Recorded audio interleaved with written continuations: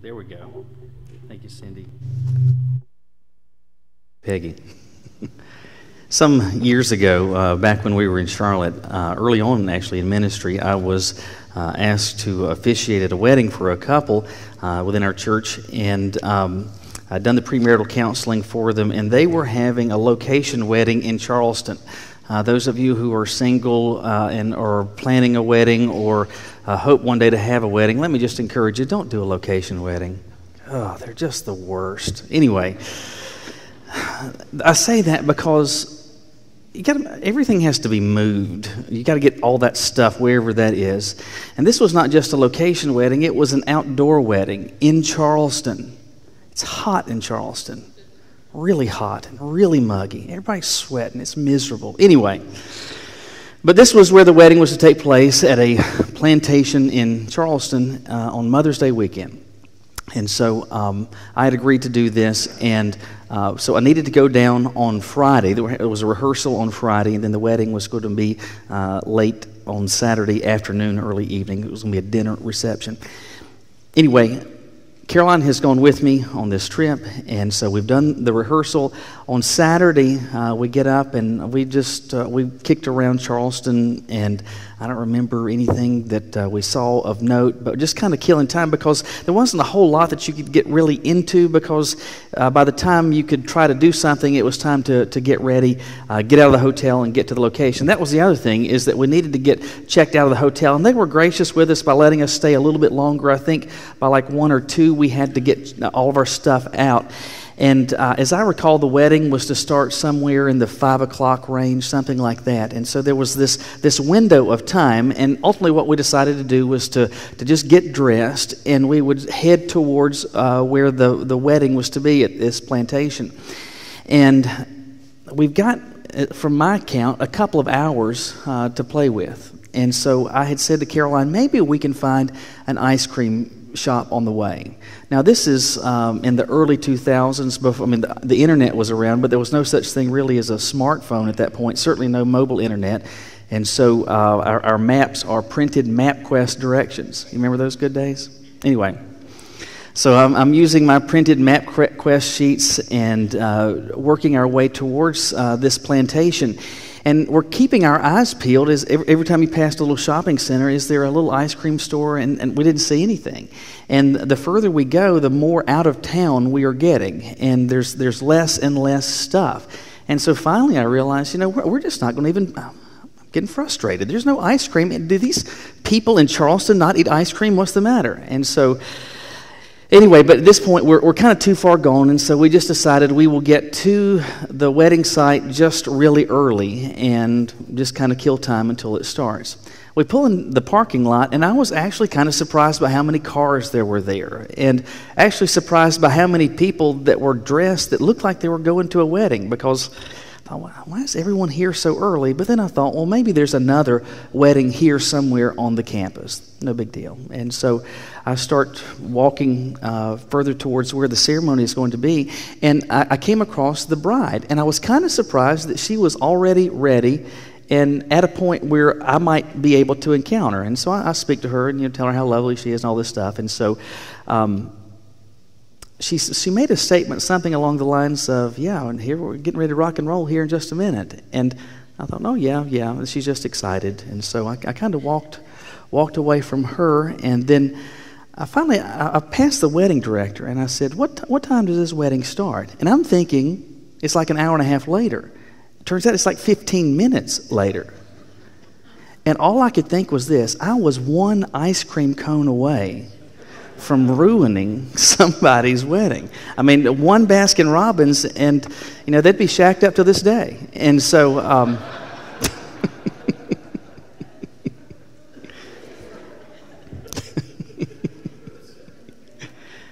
long story short, though, I, I, missed out on my ice cream that day. I, I missed that opportunity, but the good news is I did not miss the wedding. I did not miss the wedding.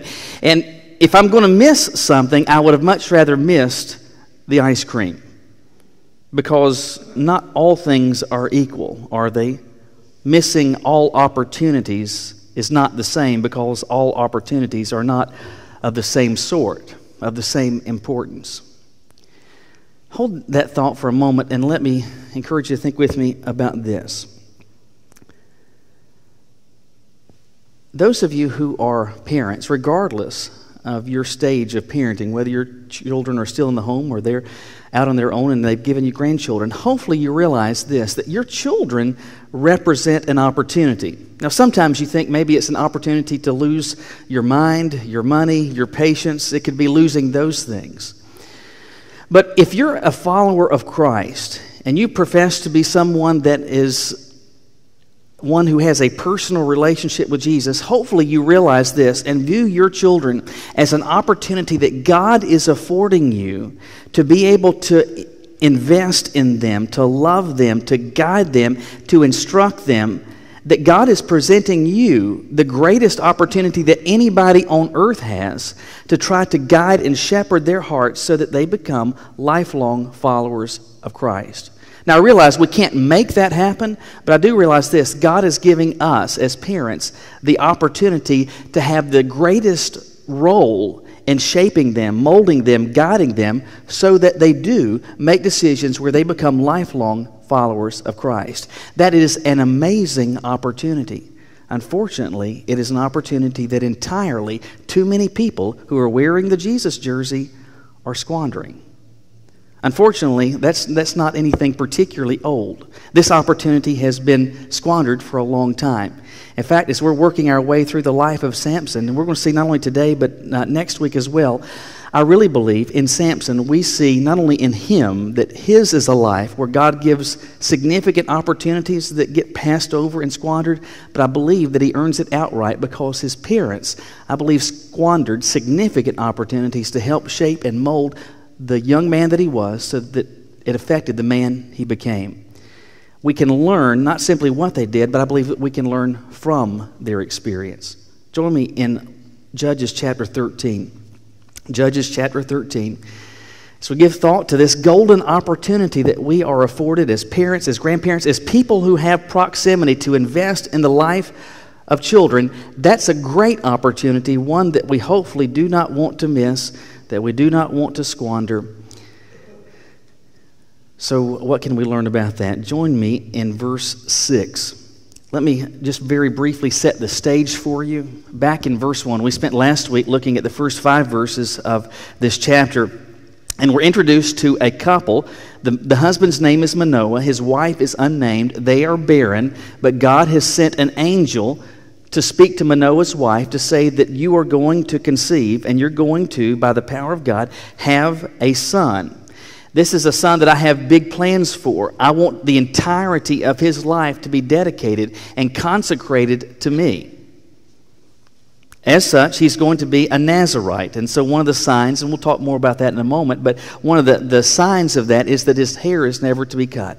So, she's had this conversation with an angel that leads us through the end of verse 5. That leads us now to verse 6 of Judges 13, where we're told the woman went and told her husband.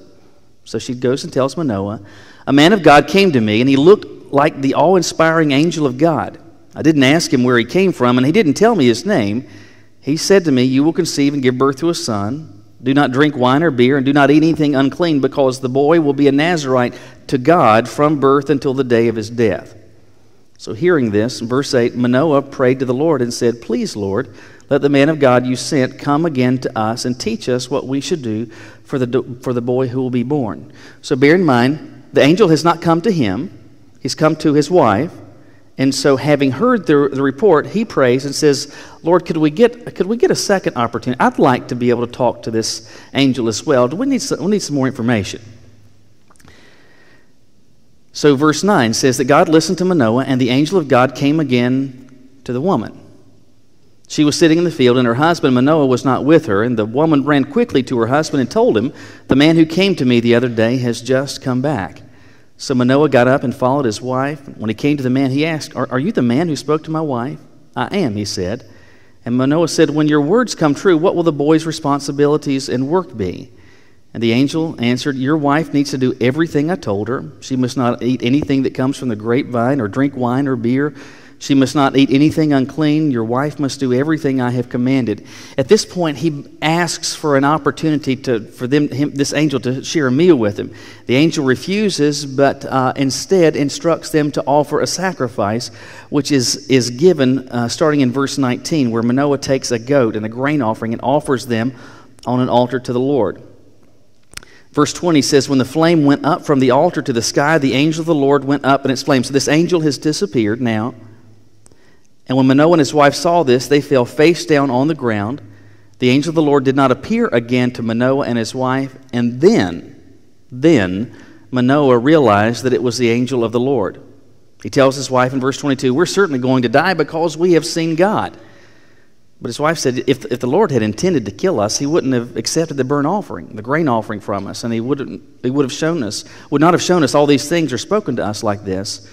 Verse 24 So the woman gave birth to a son and named him Samson. So at this point in the story, we're finally going to get introduced to Samson. What I want to do is not to detract from the meaning of this passage. I think meaning in Scripture is one, but I believe application is can be multifaceted, all sorts of ways that, that a text that means something can, can be applied. And I really believe, and I was really struck personally, and looking at the life of Samson, what the scripture tells us, I believe, has significant application with respect to the whole idea of parenting. And it reminds us of the significant opportunity that we are afforded to help invest in and shepherd and protect from and guide to so that we can do everything that's available to us at our disposal to help them become lifelong followers of the Lord. It is my belief that effectively Manoah and his wife squander this opportunity. You're going to see that more fully next week.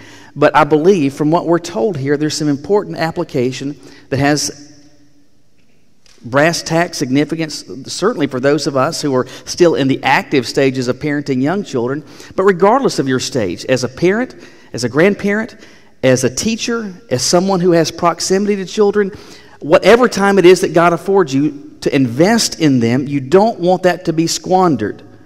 So, how can we prevent that? Based on what we see here, I would say to you the first thing is this you have to recognize God's voice. You have to recognize God's voice. Notice the details in this story. When God is wanting to do something in the life of Manoah and his wife, he sends a messenger with some big news. But to whom does the messenger go? Does it go to Manoah? No. The messenger, the angel, goes to Manoah's wife. She then tells Manoah, and then he goes and he prays to God and says, Hey, how about round two? I'd like to have a conversation myself. And the sense that you get is, you know, I don't know if this is legit or not. I don't know if I can believe her. I don't know if that's true. I need to have my, my own experience. So, um, but he doesn't want to say that. Instead, he says, uh, What might his work and responsibilities be?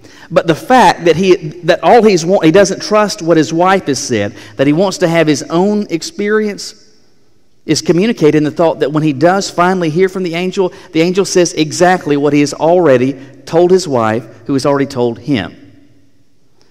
But bear in mind, when God sent a message, he did not send it to Manoah. He sent it to his wife. Manoah says, Hey, how about giving me an opportunity myself, Lord, that I might hear? And the angel comes again, but to whom does the angel go?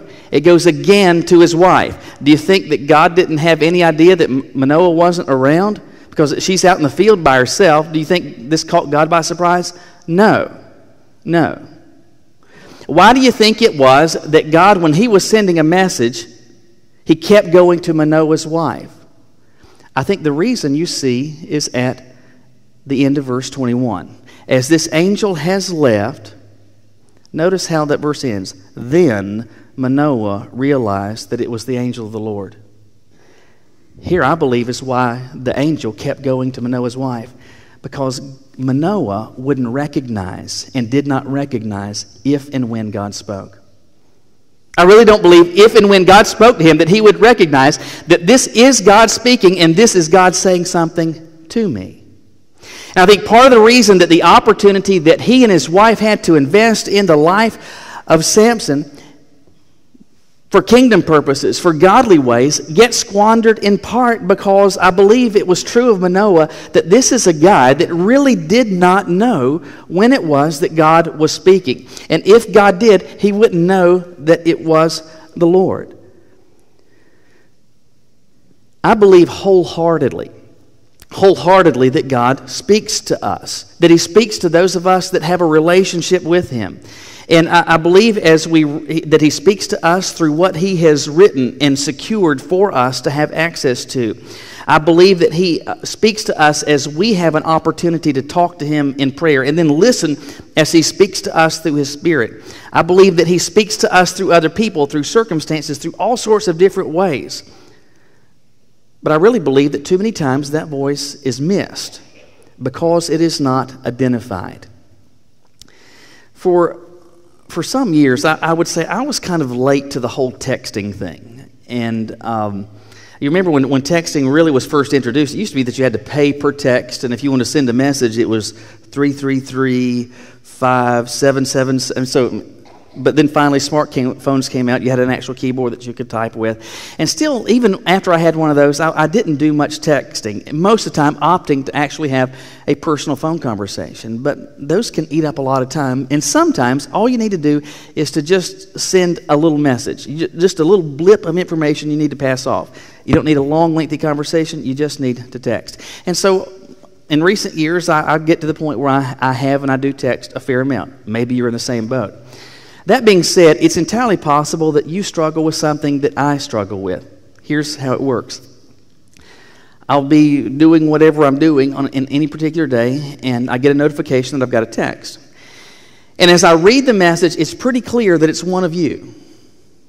And you know that I know something about your circumstance. And so you're going through something and you're sending me this message about something. And I'm reading that, and I know I need to respond. And I want to respond kindly, prayerfully, gently. But here's my problem I don't know who it is. Because all I've got is the number. And if, if I haven't already saved the number in my phone, all I see is the, is the number. And I, I want to respond kindly. I want to respond as though I'm interested. But it's tough to sound like you care when you respond with, Who is this? Right?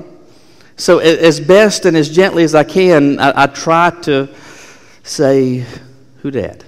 Who did? But you know, one of the cures for that is if you do this over and over and over and over and over again. Because you know what happens? Even if I don't add the phone to my phone book, I recognize the number.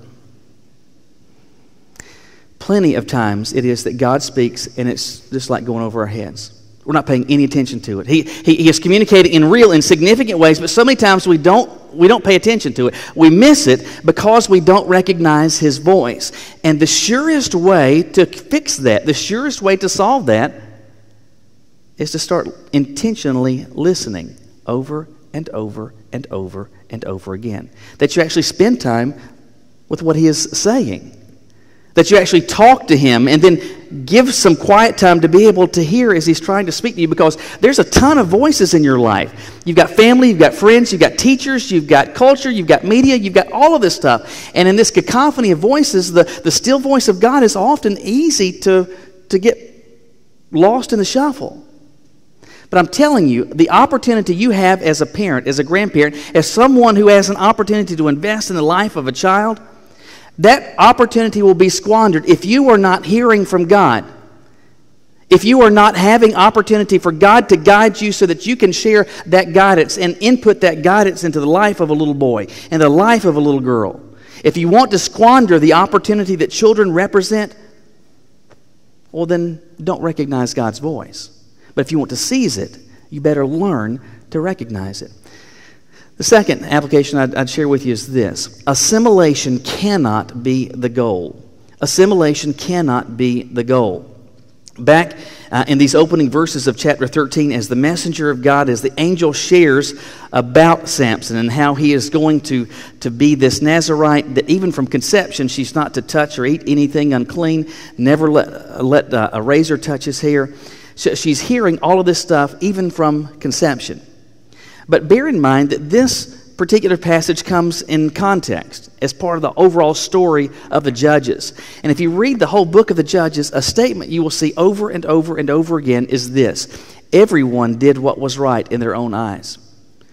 And, and even though you had this group of people, the Israelites, as the people of God, it was kind of like the people of God in name only. Because everybody's doing their own thing. They're making up their own rules. They're thumbing their noses at God's standards. They're ignoring the parameters and the boundaries and the guardrails that God has put up in life, and they're doing whatever it is that they want. And even though they're supposed to be the people of God, they don't look at all like it. They look exactly like their pagan neighbors. And it's into that culture, it's into that circumstance that God says to Manoah's wife, Listen, you're going to have a son. Miraculously, you're going to have a son that I've got big plans for. I want to use the totality of his life in significant ways. However, I want you to be mindful that this child, from this point, um, from conception forward, is different and is going to be different. And in fact, I even want him to look differently. So that if people don't know anything about Samson, they're going to know this this whole idea of, of a Nazarite, this is not the first time. Samson is not the first Nazarite. He wasn't going to be the last. And so, even if people didn't know anything about Samson, they would know just by looking hey, this is a guy that has a, a close connection with God. This is a guy whose life is different. This is a guy whose life is set apart. And God wanted Samson's parents from the outset to have this awareness. Our boy needs to be different. Our child needs to be different. Hear me when I say this. I am not suggesting, for those of you who are in the active stages of parenting, to say to you, uh, grandparents, as influencers or as teachers, that the goal should be for your child, for your grandchild to be a weirdo. The goal is not for them to have some funky haircut and look like Crystal Gayle. Some of you will have to Google that later. But anyway, I, am not suggesting that at all. But I am saying this the culture that we're operating in looks an awful lot like that of the day of Judges, where everybody is doing what is right in their own eyes. And it's in, that, it's in that environment that we're trying to do this whole thing of following Jesus. And being mindful of that, you have to make the decision that assimilation and my kid just fitting in, that can't be my goal. My goal has got to be something very different, that I want them to be a lifelong follower of God's. Isn't that the stated goal that's given here?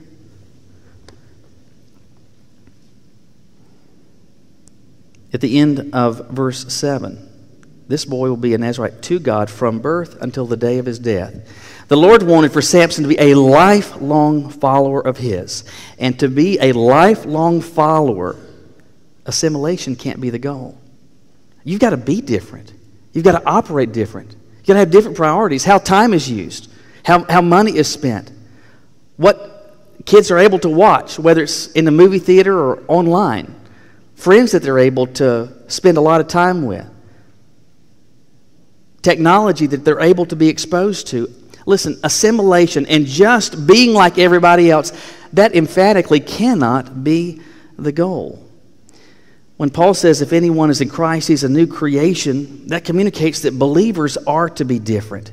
And if you don't want to squander the opportunity that God affords you in the presence of your child or your grandchild, you've got to say, listen, my goal is, my ultimate desire is for them to be a lifelong followers of the Lord. And so that means whether or not they fit in, that's not my goal. My goal is for them to know Christ to experience Him and to be transformed by Him for the whole of their life.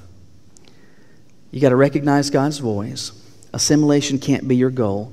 Here's the final thought I'd give you, and it's this you have to sweat the small stuff.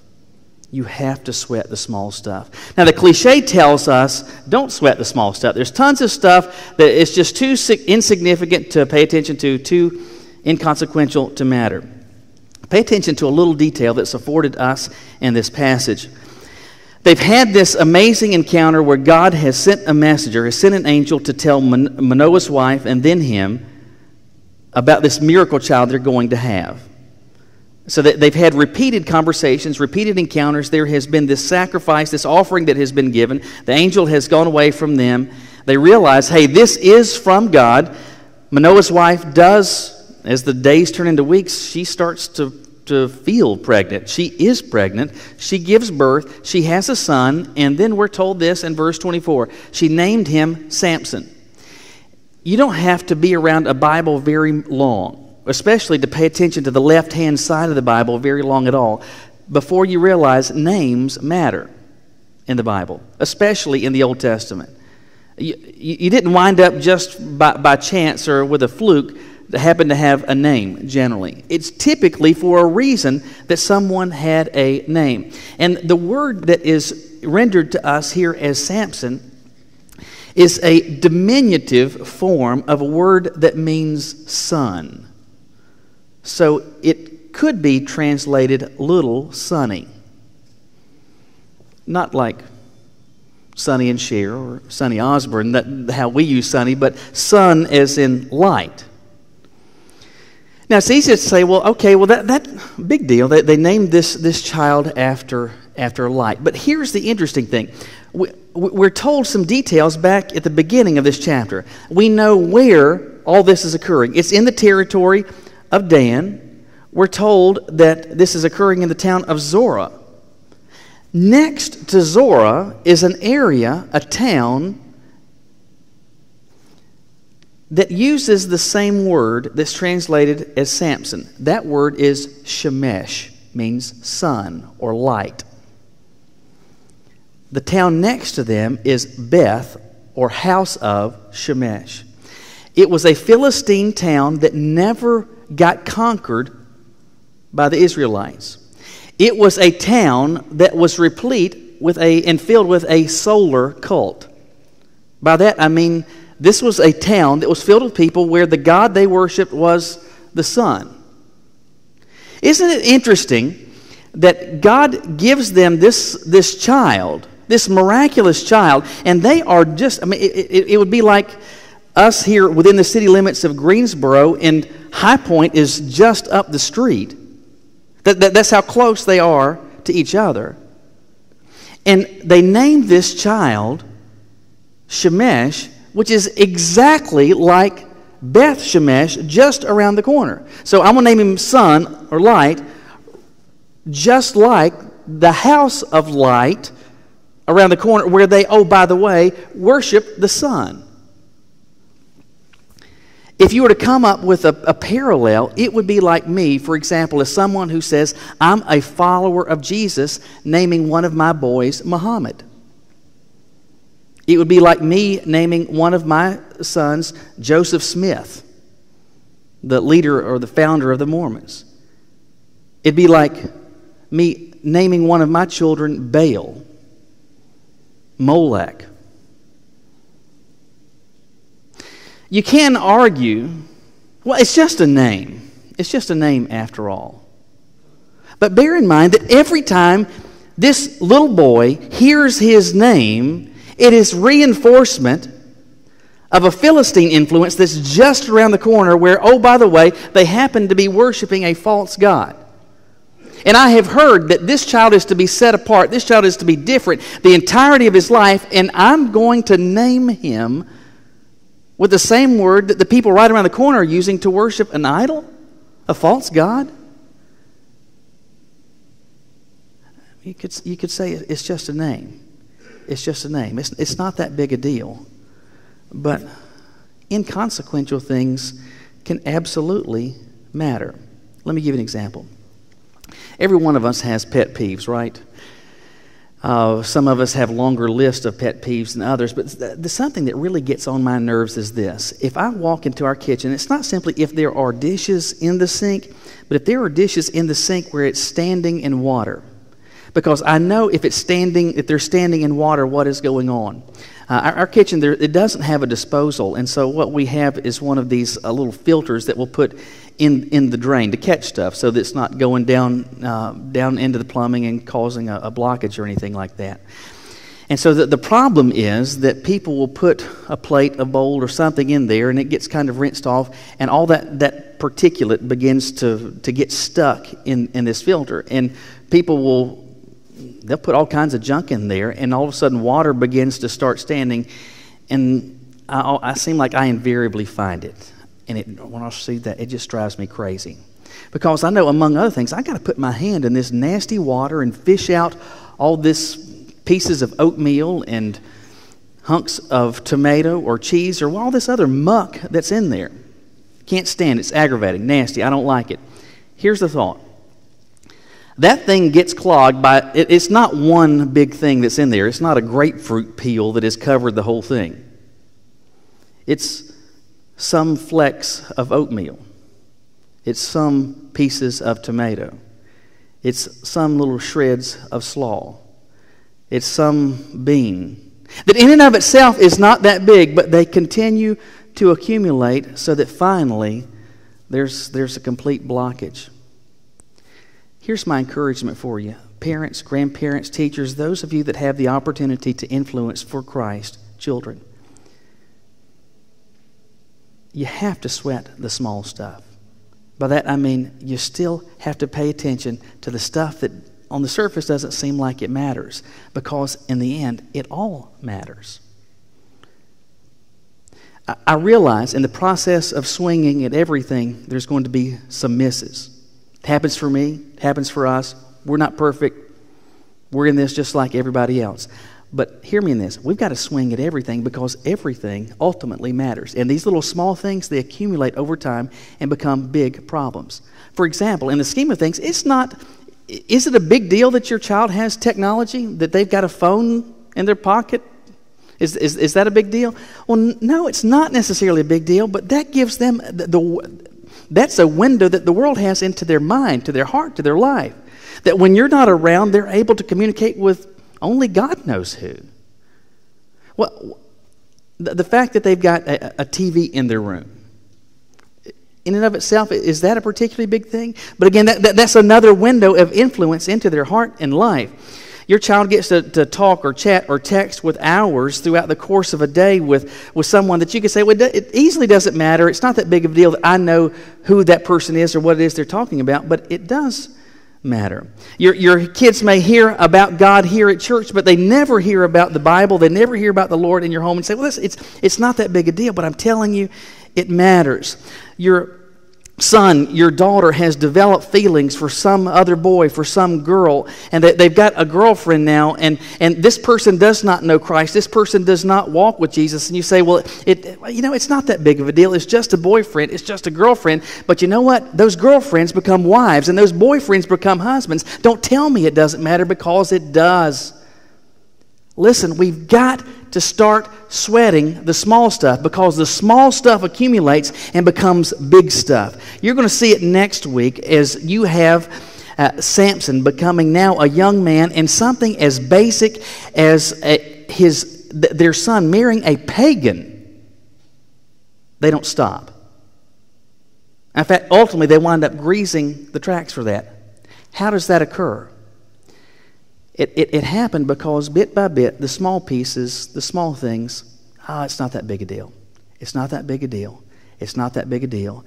It can, t- continues to accumulate, and ultimately, the opportunity to make a significant difference gets squandered.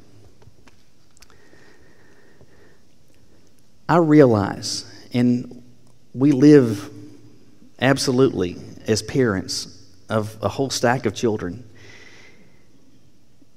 in a constant environment of work. I know that it is tiring. That's why, among other things, God doesn't give us children as senior adults, right? He gives them to us when we're, when we're young and dumb. It requires a lot of work. It requires diligence. It requires regular, consistent, and diligent work. It requires sweat, excuse me, it requires sweating, even the small stuff, unless, of course, it doesn't bother you. Unless, of course, if it isn't of consequence, whether or not your son, your daughter, is a lifelong follower of Christ. My hope is you say it matters. And if it does, don't squander the opportunity. Will you bow your heads with me?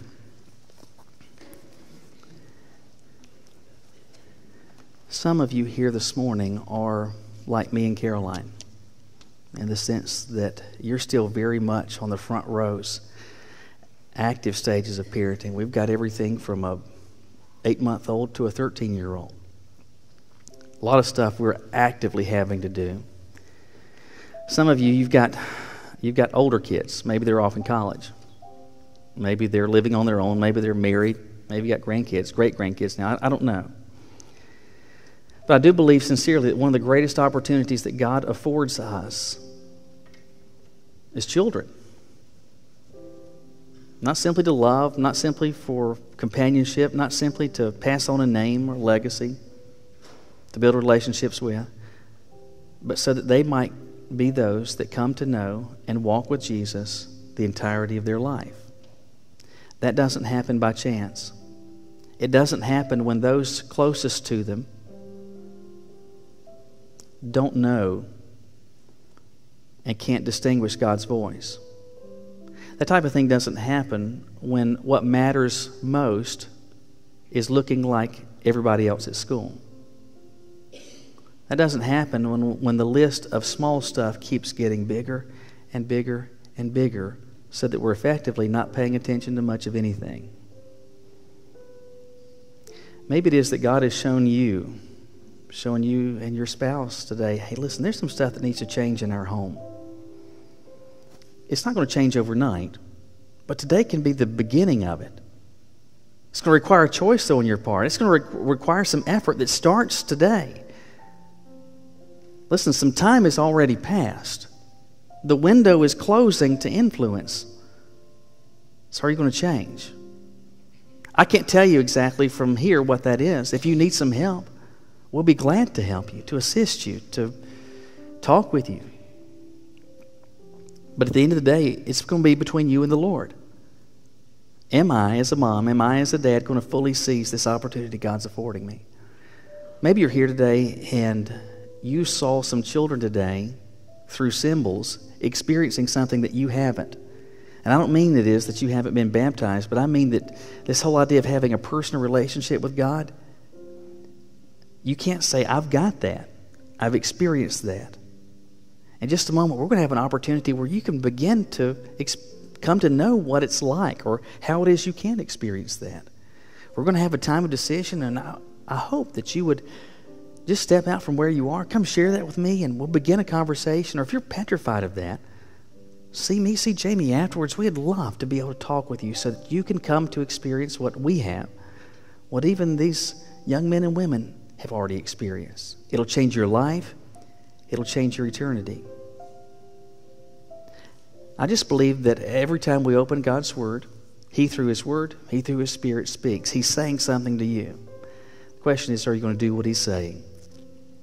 Father, we are grateful to you for the fact that you do speak.